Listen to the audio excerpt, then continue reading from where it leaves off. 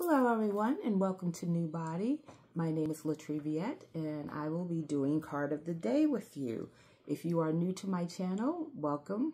Thank you for joining me. Don't forget to like, share, follow, comment, and subscribe. Sorry about that.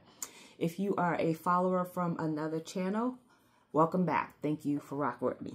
So today we are going to use the Wisdom Oracle and uh, you know just get a card uh, a message from your spiritual team to let you know uh, how you can flow with the day.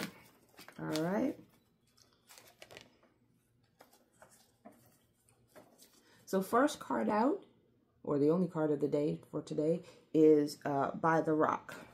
And crap I don't have my glasses. Okay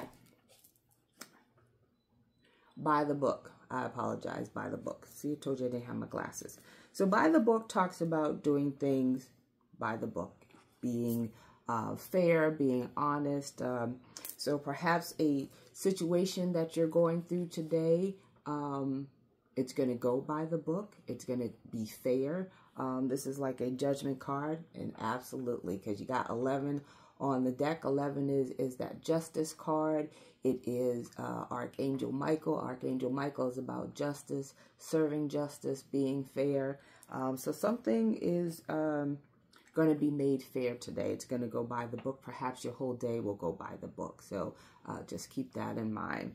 Um, yeah, so that's your card of the day by uh, Wisdom of the Oracle, and that's Colette Baron Reid by the book. So uh, check back with me. I will be doing more readings today, and I hope you join me.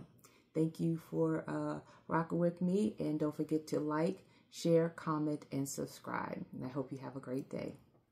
Bye.